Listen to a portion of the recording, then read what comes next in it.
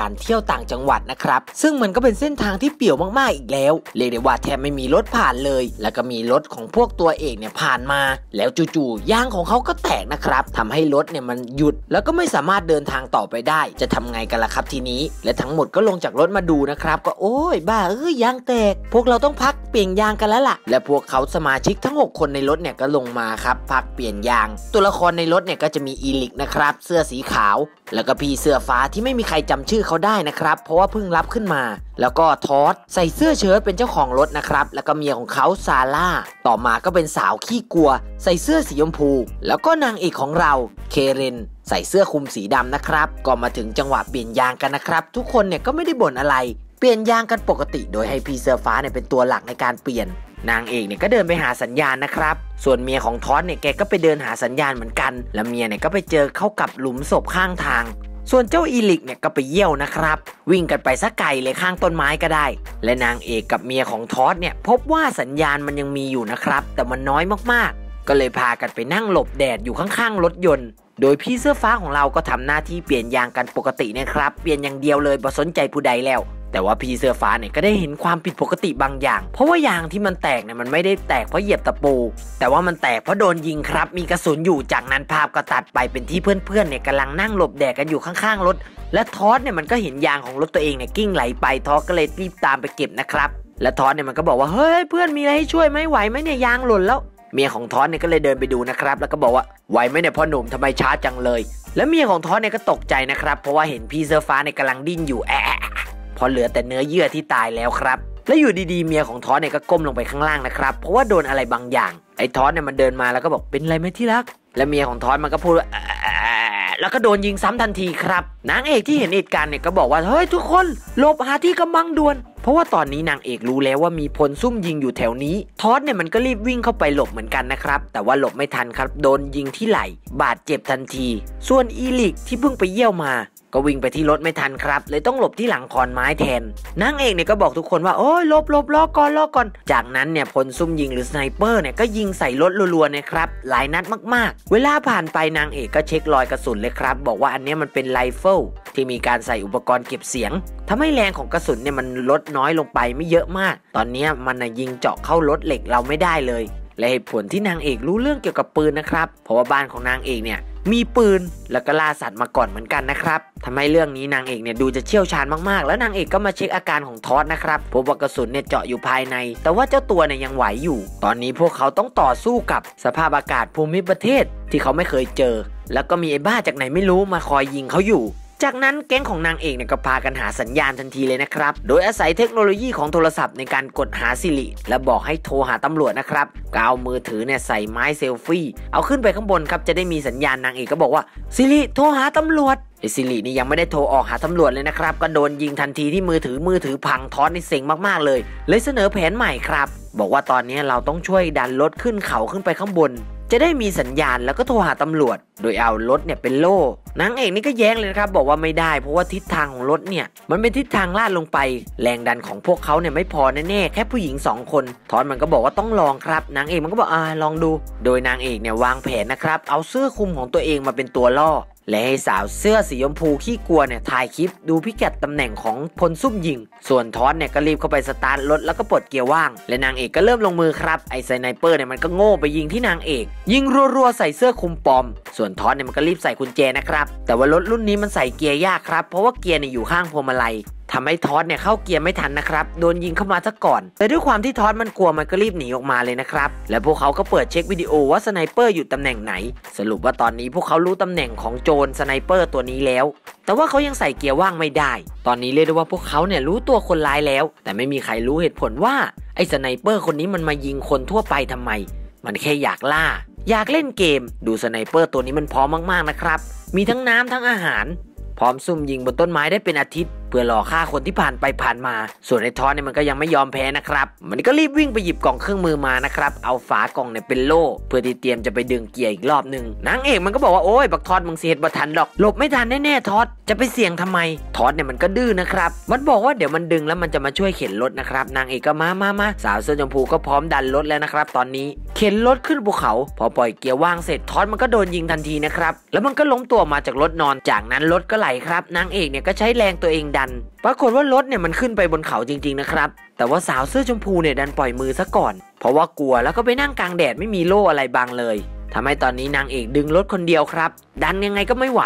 รถก็ไหลลงไปข้างล่างนะครับ จนยางหลุดเปลี่ยนตำแหน่งไปไกลเลยทอสเนี่ยมันก็คลานไปหลบข้างๆรถได้ทันนะครับ เจ้าอีลิกที่หลบอยู่ตรงขอนไม้เนี่ยเห็นสาวเสื้อชมพูอยู่กลางทุ่งครับ จึงวิ่งออกไปจากขอนไม้เพื่อรอให้ sniper เนี่ยมายิงตัวเอง ปรากฏว่าอีลิกเนี่ยโดนยิงกระจายเลยนะครับ บาดเจ็บเรียกว่าเกือบจะสาหัส แล้วเวลาก็ผ่านไปครับ ทุกคนข้างๆรถเนี่ยก็โยนน้ำให้อีลิก เพื่อไม่ให้อีลิกขาดน้ำเพราะตอนนี้เขาเสียเลือดมากๆ อีลิกเนี่ยก็กำลังจะกินน้ำนะครับ แต่ว่า sniper เนี่ยมันก็เอาปืนมายิงที่มือ เพื่อไม่ให้อีลิกเนี่ยกินน้ำได้นะครับ แล้วมือปืนเนี่ยมันก็กินน้ำกินข้าวรอดูอีลิกอย่างเดียวเลยครับ จับตาดูอย่างช้าๆให้อีลิกเนี่ยเดสมอร์ดิ้งโอ้โห ไอ้มือปืนเวรจากนั้นทอสเนี่ยมันก็เดินไปโท่งๆเลยนะครับ ไปยืนอยู่กลางถนน เพราะว่าเขาเนี่ยต้องการจะตายข้างๆเมียของเขา ซึ่งเขาเนี่ยรักเมียของเขามากๆเลยเมียของเขาเพิ่งท้องครับคลอดลูกมาแล้วก็แท้งทำให้ไม่มีลูกแล้วเขาก็มาเที่ยวกัน แต่ต้องมาเจอเหตุการณ์อะไรอย่างนี้ มือปืนตัวร้ายเนี่ยมันเห็นอย่างนั้นแล้วมันก็จัดให้ครับ สรุปตอนนี้ทอสก็เดสมอร์ดิ้งข้างๆเมียของเขาเหมือนกัน แล้วก็เหลือแต่นางเอกกับสาวเสื้อชมพู จากนั้นเนี่ยก็มีรถพลเมืองดีผ่านมาอีกคันหนึ่งนะครับ คันนี้มากัน3คนครับ มีผัวนั่งข้างๆ เมียขับรถ และลูกสาวนอนอยู่หลังรถ จากนั้นตัวเมียเนี่ยก็เห็นนางเอกนะครับ เลยบอกผัวว่าที่รักที่รัก นั่นอะไรอะ่ะ โทรหาตำรวจเร็ว มันเกิดอุบัติเหตุเนี่ย ปลุกสามีสามียังไม่ทันตื่นดีนะครับ เมียเนี่ยก็โดนยิงมือขาดทันทีทำให้คุมรถไม่ได้ รถคว่ำครับ ลูกสาวเนี่ยกระเด็นออกมาจากนอกรถ แล้วก็โดนมือปืนยิงเดสมอร์ดิ้งส่วนสามีเนี่ยก็รีบโทรหาตำรวจทันทีนะครับ บอกว่าโดน sniper ซุ่มยิงตรงพิกัดนี้แต่ยังไม่ทันบอกรายละเอียดถึงความอันตราย sniper มันก็ยิงไปที่ถังน้ำมันรถแล้วก็ตูมรถระเบิดผัวเมียลูกเดสมอร์ดิ้งหมดเลยครับ แล้วก็กลับมาเหลือแค่นางเอกกับสาวเสื้อชมพูขี้กลัว สาวเสื้อชมพูเนี่ยเธอก็บอกว่าไม่เป็นไร เดี๋ยวมันก็มืดละไอ้คนร้ายเนี่ยมันจะได้มองไม่เห็นเราเราก็หนีได้สบายแล้วนางเอกก็บอกว่าไม่ได้ มันเตรียมมาขนาดนี้แล้วมันคงต้องมีกล้องสำหรับมองในที่มืดมาด้วยแน่ๆเปิดโหมด night vision แน่นอน แล้วนางเอกเนี่ยมันก็นึกไอเดียขึ้นมาได้นะครับเมื่อมันมองไปที่รถไฟไหม้ว่าตัวของควันเนี่ยมันสามารถสร้างเกราะกำบังให้พวกนางเอกได้ เพราะว่าพวกทหารเนี่ย เวลาจะพรางตัวก็ใช้ระเบิดควันเหมือนกัน ซึ่งนางเอกก็คิดแผนได้นะครับ เวลาผ่านไปจากเย็นถึงมืด ไอ้ตัวมือปืนตัวร้ายเนี่ยมันก็มี night vision จริงๆนะครับ สามารถมองเห็นคนได้ในที่มืด ส่วนนางเอกกับสาวขี้กลัวเนี่ยมันก็รีบเจาะยางนะครับ เตรียมเอาเป็นเชื้อเพลิงในการเผารถตัวเองสร้างควันครับ แล้วมันก็เอายางเนี่ยมาใส่ยัดเบาะไว้ แล้วก็สร้างควันทันทีครับพอมีควันขึ้นมาจริง ๆ ไอ้มือปืน sniper เนี่ยมันก็มองไม่เห็นครับ มือปืนมันเลยถอดที่เก็บเสียงออกนะครับ แล้วก็ยิงกะให้ทะลุรถไปเลย ยิงสุ่มเลยครับ ปังปังปังกะให้พวกนางเอกเนี่ยมันตายไปเลย นางเอกก็บอกกับสาวขี้กลัวว่า เออรอแป๊บเดียวนะ เดี๋ยวควันไฟได้ที่แล้วเนี่ย เธอกับฉันเนี่ยต้องหนีไปให้ไกลที่สุด ไม่ต้องกลัวนะเตรียมพร้อม พอทั้งคู่เนี่ยกำลังจะหนีนะครับตำรวจก็มาครับ มาตามที่ได้รับแจ้งเหตุเลยครับ มากัน 4 คนครับ มีตำรวจถือ sniper มา 2 คนแล้วก็ตำรวจธรรมดาอีก 2 คนในรถครับพอมาถึงก็งานเข้าเลยนะครับตำรวจอีกคนเนี่ยรีบวอขอกำลังเสริมทันที เพราะว่ามากัน 4 คนเนี่ยไม่พอแน่ๆ แต่สัญญาณมันก็ดันไม่มีครับ ทีนี้หัวหน้าที่ขับรถต่อสัญญาณให้ใหม่นะครับ แล้วก็บอกว่าให้รีบมา ยังแจ้งหน่วยไม่จบนะครับ มือปืนเวนส์เนี่ยมันก็รีบรอจังหวะยิงทันทีทำให้หัวหน้าคนขับรถที่เป็นตำรวจเดสมอร์เด้งทันทีครับ พอเดสมอร์เด้งเสร็จก็ไปเหยียบคันเร่งทำให้ตำรวจ sniper บนกระบะหนึ่งคนเนี่ยพัดตกจากรถนะครับ แล้วก็จะหยิบปืนเข้ามายิงต่อสู้แต่ว่าหัวแตกซะก่อนเดสมอร์เด้งไป รถไหลต่อนะครับ ตำรวจอีกคนเนี่ยพยายามคุมรถไว้ และนางเอกก็หันมาบอกสาวขี้กลัวว่าตอนนี้แหละ รีบหนีเลยรอดแน่ๆวิ่งค่ะ แต่ว่าสาวขี้กลัวเนี่ยไม่ยอมวิ่งนะครับเพราะมันกลัวมากๆมันก้าวขาไม่ออกครับ มันก็นั่งกอดเขาตรงนั้นแหละนางเอกก็เลยอืมกูบายูแล้ววิ่งคนเดียวเลยครับ แต่ว่านางเอกเนี่ยก็ดันโดนยิงนะครับเดสมอร์เด้งเหมือนกันทำให้ตอนนี้ตำแหน่งนางเอกย้ายมาที่สาวขี้กลัวแล้ว ส่วนเจ้าหน้าที่ตำรวจที่พยายามคุมรถก็สามารถคุมรถได้แล้วนะครับ แล้วก็เอารถมาจอด